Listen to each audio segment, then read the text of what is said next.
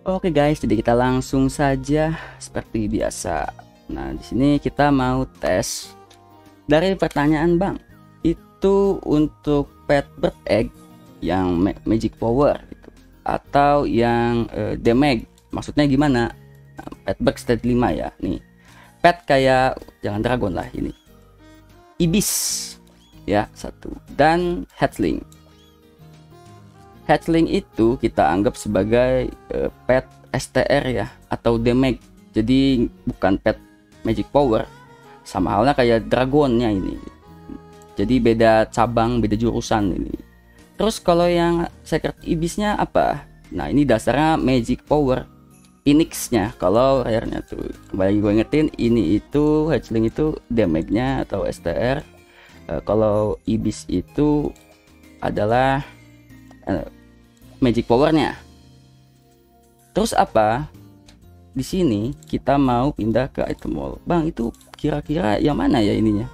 E, tunggangannya atau guardiannya? Saya takut salah. Oke. Nah, poinnya itu sebenarnya di sini. Kan ada guardian nih, salah satu kayak pumpkin lamp ini untuk pet kategori seed. Kemudian kalau yang ada magical kayak begini kategori eh, pia. Nah, ini kategori ber ada tapinya. Yang tadi yang tadi kita bilang. Yang attack itu yang mana? Yang MPW yang mana? Kan emang pusing juga sih. Maka kita coba pencet yang magical orb dulu. Oke. Okay. yes. Cwing. kita tes nih. Ini bukan orang kaya gue nih. Emang orang gabut aja. Oke ini masukin dulu. Nah magical orb. Nah ini magical orb nih. Coba kita pakai pet yang STR dulu. Hatchling ya udah kelihatan tuh hatchling kita pakai ini bisa gak? Tuh, bisa. Hatchling. Oke.